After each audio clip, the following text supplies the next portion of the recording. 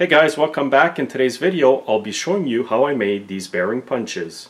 And have a look at them here. There are two of them, and that is because on some of the planetary gears, there's two different sizes of bearings that go in them. That's why I've got two punches. And I used hex shafts used in snowblowers to drive the friction disc on them.